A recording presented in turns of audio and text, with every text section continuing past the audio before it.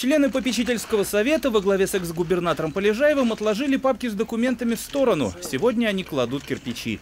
Рядом с будущим входом в Воскресенский собор штабеля с щербатыми и побитыми артефактами прошлого. В торжественной обстановке старинные кирпичи заложили в стену. А с ними и памятные медальоны в честь известных личностей, имеющих отношение к Омску и собору, в частности Достоевского и Колчака. Это не рядовое здание, говорит Леонид Полежаев, а возвращение нашей истории, к которому должны быть причастны все мечи.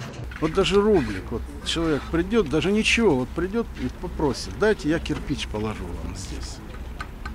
Разрешите мне. Он уже причастность к этому делу э, проявит. Это в семейной хронике будет. Да, я был, вот я там кирпич вот положил в этот собор.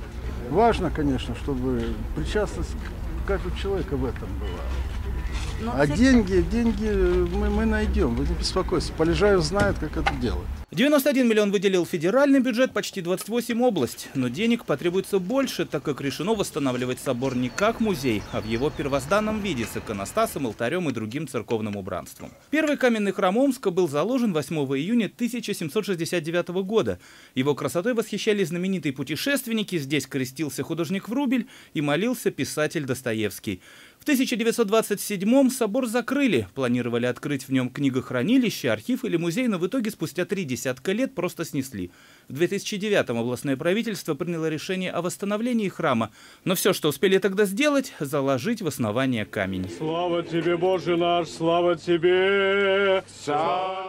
Настоящая работа началась этой зимой. Уже залит фундамент, готов к отделке подвал, установлен башенный кран. Сейчас здесь трудятся 35 строителей. До 15 июля мы должны, по крайней мере, мы хотим порадовать наших хомячей, чтобы этот объект к дню города был, имел вид законченного строения. А Здесь должна быть полностью купола, купольная часть вся, тут 7 куполов будет, крыша полностью будет готова, будет стоять окна, двери и будет вестись э, внешняя отделка. Спешка на качество не повлияет, уверяет подрядчик. А тем временем съемочная группа 12 канала тоже решает помочь и заодно оставить след в вечности.